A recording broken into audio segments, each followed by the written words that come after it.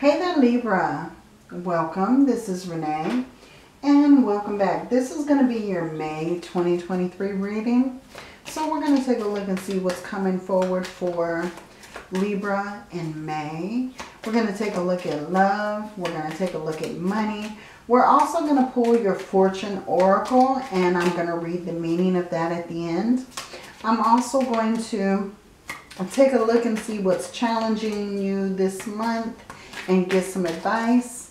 And then we'll go ahead and pull your angel number. Okay, and get your affirmation. So stay tuned. Okay, we have retreat. It's time to disconnect from the world. Okay, so this may be a good time to like go into hermit mode. Go ahead and do that reflection. Take time out for yourself. Do your healing um, meditate, contemplate on your situations in life, and just concentrate on Libra, right? So let's take a look at your money. Let's take a look at money. What's going on for Libra? Okay, two want to come out. Okay, we have the end of a tough cycle approaches, full moon in Capricorn, and we also have luck is on your side. Okay, so I feel like this month, your money situation is going to start to be restored. I feel like you may have been having a very hard time um, in the month of April, uh, maybe even in the month of March, right? Um, but I feel like it things are looking up. Things are starting to turn around. Some things will be restored for you. I feel in the month of May. So let's go ahead and get your angel number. Excuse me, your angel card. What did the angels have to say to Libra? We have prioritize. Archangel Metatron. Focus on your highest priorities. I will help you get organized and motivated. You know, so I think Spirit is letting you know to prioritize your time very wisely in the month of May, right? Set your priorities, set your intentions, because like I said, this is going to be a very good month for you. So if you are trying to manifest something into your life, it's time to set those intentions very clearly.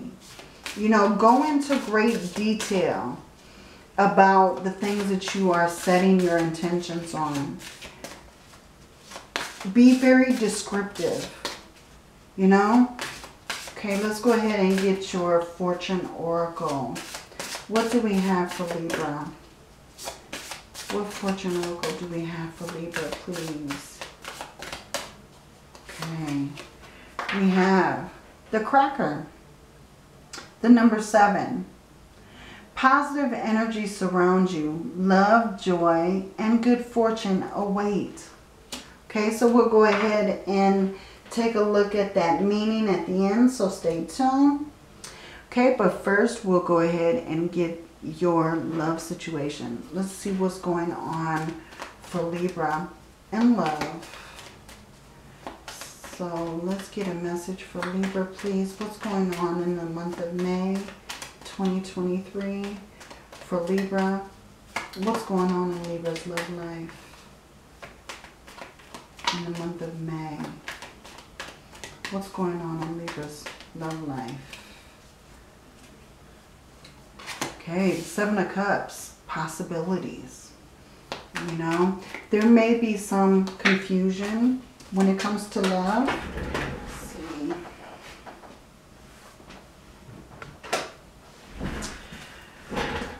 Okay, so we have the Five of Swords and the Seven of Wands.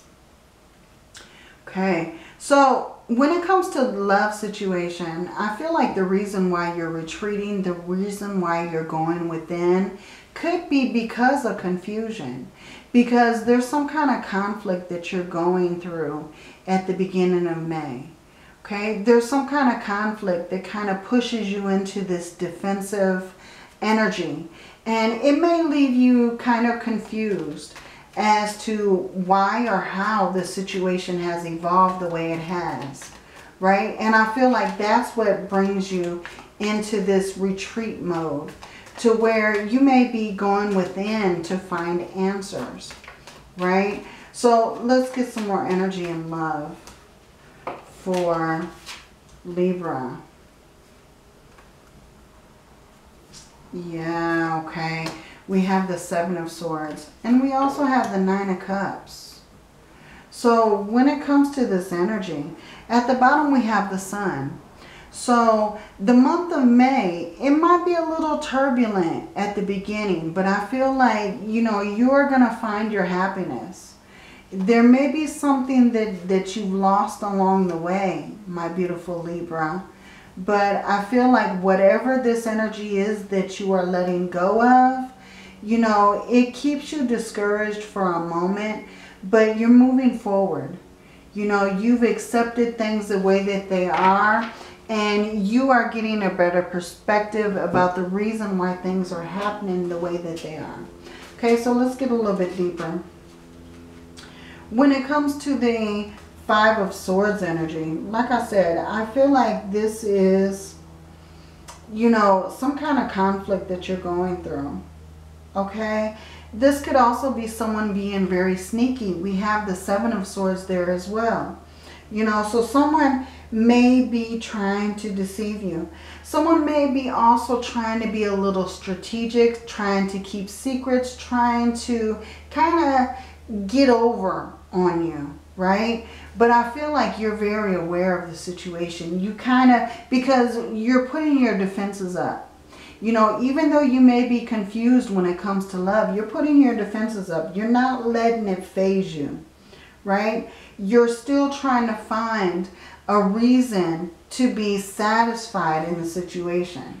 You know, not that you're letting things go or not that you're overlooking things, but you're just kind of aware of the situation. Right? That's the feeling that I'm getting from those cards. Um, let's see. Why is the Seven of Cups here? I want to clarify this real quick.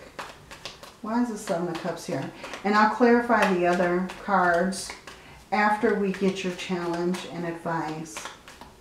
But I want to know about the Seven of Cups. Why is the Seven of Cups here? Oh, that's way too many cards, Spirit. A message for the Seven of Cups. There we go. The Strength card. You're confused about the situation, but you're very strong. You're very strong. You see things the way that they should be, right? You have the Two of Wands at the bottom. So you see things going um, in your direction. You know, so you're not worried about this situation. You're not letting it phase you. You know, you've got a lot of courage and compassion when it comes to this situation. So I feel like if this is a person who's causing this conflict, they're kind of pulling on your heartstrings a little bit to get your sympathy. But you're not letting them phase you. You're like, you know, I don't have time for this drama. You know, I'm, I'm, I'm standing my ground, right? And I feel like there's some kind of decisions that you're making when it comes to this situation.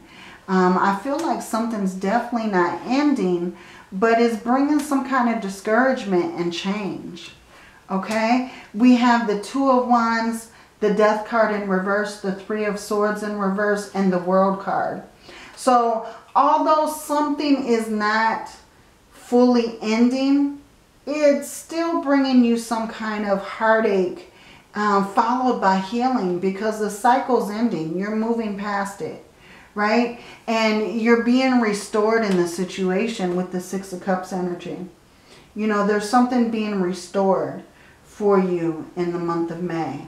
Okay, so if this is a situation when it comes to love, there may be some conflicts, but I feel like your relationship is going to last if you're already in a relationship. If this has to do with a friendship, I feel like, you know, you, you may be going at it with a friend, um, having heated discussions or, you know, some kind of conflict with them. But, you know, you're going to endure. You're going to push through this energy. You know, you're not letting it phase you. Okay?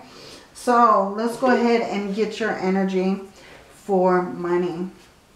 Okay, I'm going to take that strength card and put that back there. What messages do we have for Libra for the money situation? What messages do we have for Libra for money, please, and finances? Messages for Libra, money, and finances. Okay, we have the Justice card. Justice in reverse for your overall energy. So I feel like you're still waiting on something to go your way when it comes to your money. You know, there's still something that you're trying to make right. We do have the Wheel of Fortune, so I feel like things are changing. We have the Emperor, so I feel like you're taking control of the situation. Um, this is also, as far as energy, this is also Pisces and Aries energy. We also have Libra here. You know, so you're stepping out, Libra. Um, we also have the Nine of Wands. So there's something that you're not giving up on. And the King of Wands. Okay. We have the Three of Swords in reverse at the bottom. So yeah, something is actually being restored to you when it comes to this energy. For your overall energy with the Justice card in reverse, this is actually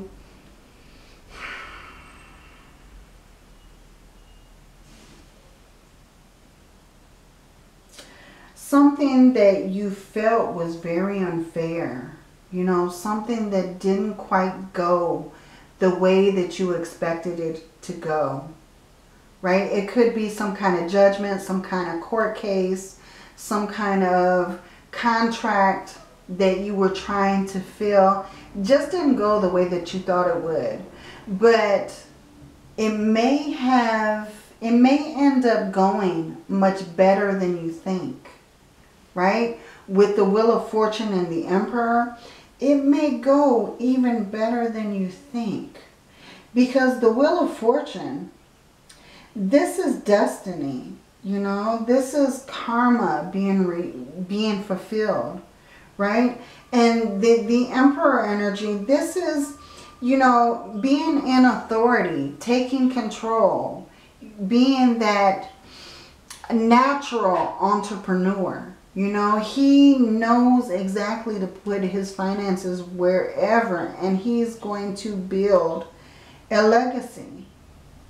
You know, he's using his logic to create something. He's bossing up here, right? So the, the Nine of Wands energy, this is actually, if you think about the Nine of Wands, this is not backing down. You know, this is the wounded warrior there. But even though there's the wounded warrior, they haven't quit. They haven't give up. They're being very resilient, right? And when you're resilient, you know, you are bound to be restored to your fullest capability. Okay, that's what I'm getting. That's the words that I'm getting. With the King of Wands energy, th this could also be taking action, adapting to your situation very naturally. The King of Wands is also overcoming challenges, right? Seeing the big picture for what it is. So I feel like when it comes to your finances, there are challenges that you're overcoming.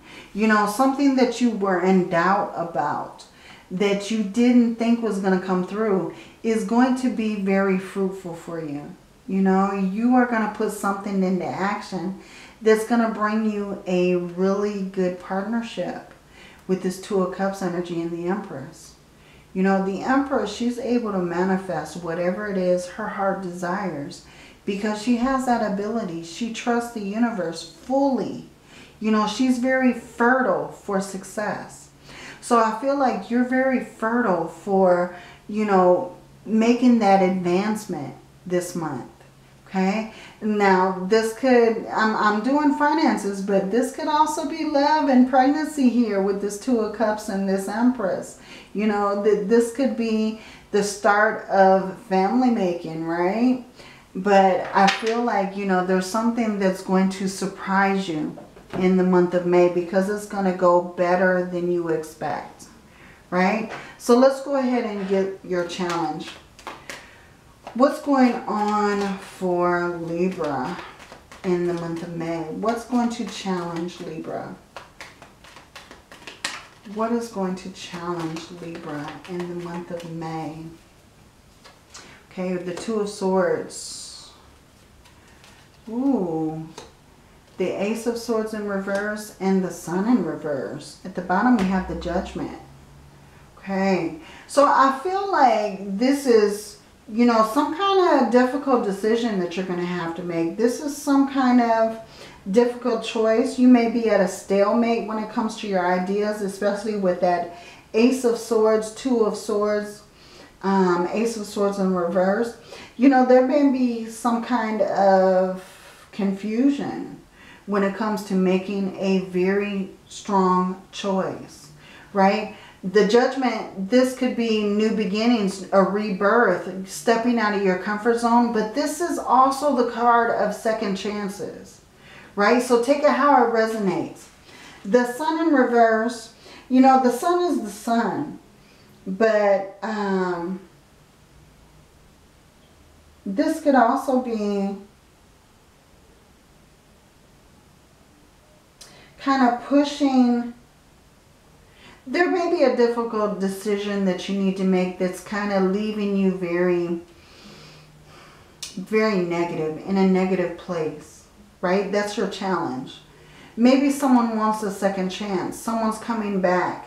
And I feel like this is something that you may not want at this time. So you're making some kind of difficult decision to not provide a second chance about a certain situation right? We have the Hierophant in reverse. It could be that someone that you were in a relationship with is coming back in the month of May. And you're like, mm, -mm no. We have Capricorn energy. We have...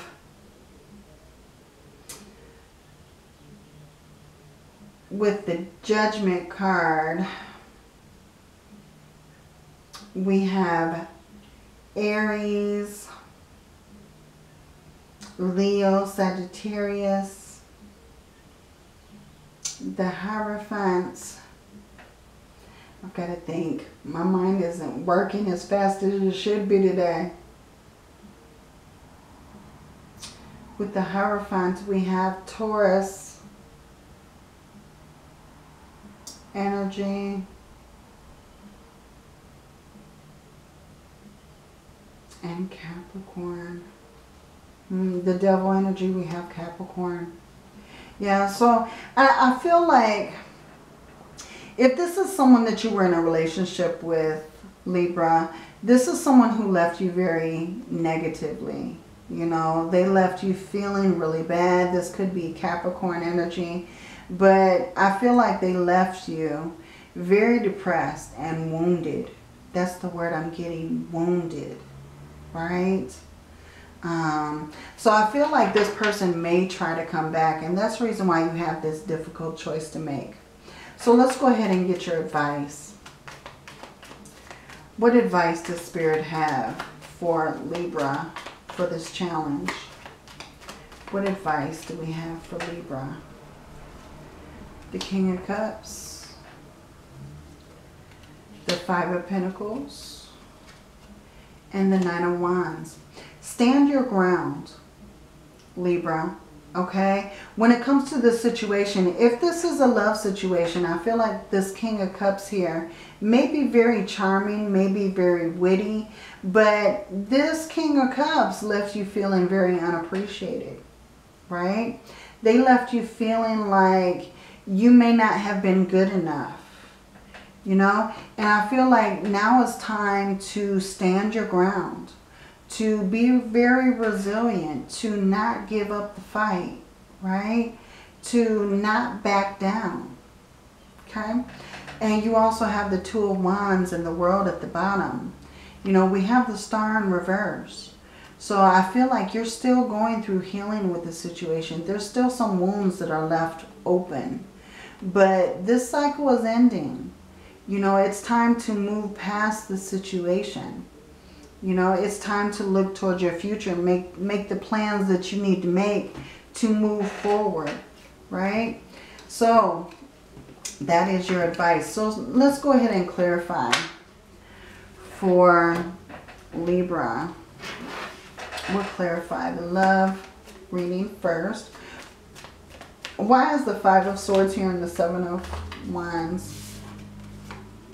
Yeah, the Queen of Cups and the Hermit card. Now, this Queen of Cups here, she's dipping her toes in the water, but she's also protecting her cups. So, with the Queen of Cups and the Hermit card, I feel like Spirit is letting you know to protect your energy.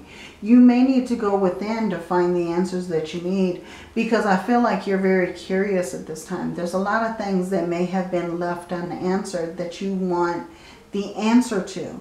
You know, you may have a lot of questions, uh, Libra. So I feel like, you know, you're going to have this success.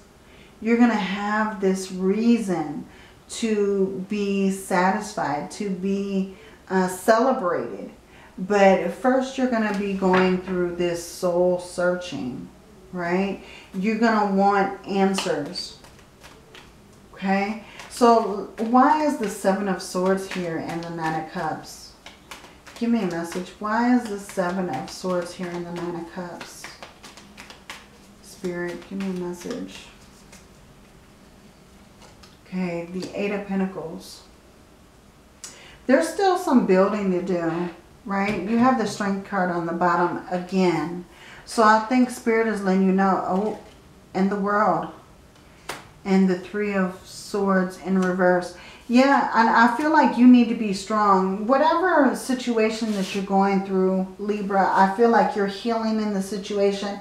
It's time to rebuild yourself up to, you know, gain your balance, set your standards, and, you know, do that hard work on yourself. Put that energy into yourself at this moment. Because you could be coming through an awakening, right? You could be ending a cycle and building, you know, building yourself up.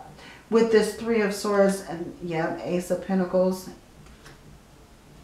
Page of Pentacles, definitely there's something being offered to you in the month of May. Some kind of new beginning. And I feel like it it's almost feels like an awakening. Like you're going through this spiritual journey when it comes to love in your life in general, right?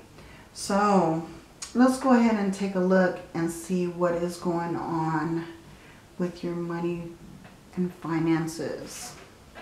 Okay. Spirit, give me a message. Why is the Wheel of Fortune and the Emperor here? Give me a message. Why is the Wheel of Fortune and the Emperor here? Why is the Wheel of Fortune and the Emperor here?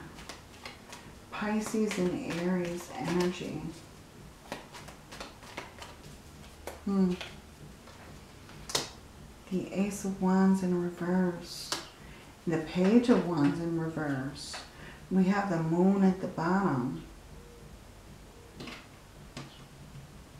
Some information that you've been waiting for is being revealed to you. You're waiting for those answers though. You're waiting for something to happen. When it comes to this Page of Wands and Ace of Wands in reverse. But I feel like